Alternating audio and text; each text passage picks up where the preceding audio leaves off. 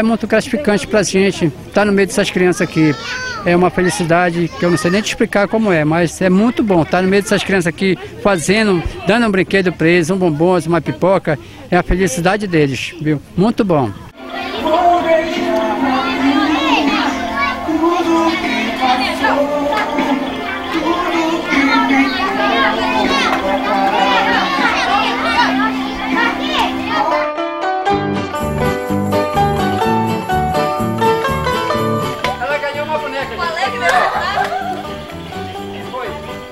O que você está achando desse momento?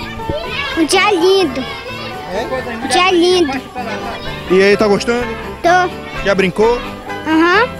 De que tu brincou? Dia já boneco.